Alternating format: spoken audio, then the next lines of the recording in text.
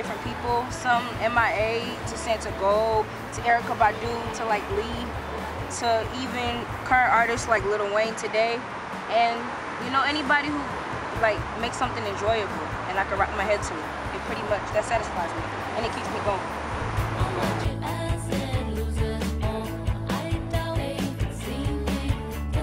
Um, one of my friends told me about it and it seemed like a really cool thing to do. And I like how they about their business and it really is a movement. I really like Lifto, so I wanted to join it as soon as possible. And when my friend told me about it, I applied.